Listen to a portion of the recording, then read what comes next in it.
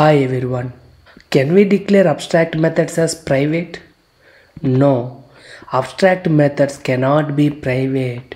Suppose if abstract methods are allowed to be private, then they will not be inherited to its subclasses and will not get enhanced. If you declare a method as abstract it needs to be implemented somewhere but if you declare a method as private it will be applicable within a class only.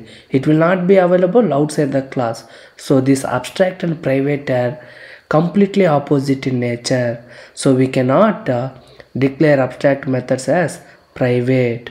If you see in this example we are trying to add private methods as abstract. It is giving illegal combination of modifiers that is abstract and private. So abstract and private cannot be used together. All these combinations are illegal in java. In many interviews they will ask these kind of combinations also. So we can say all these combinations are illegal that is abstract and synchronized abstract and static abstract and private abstract and final abstract and native abstract and strictfp. We cannot use all these combinations. That is abstract must be implemented uh, outside the class.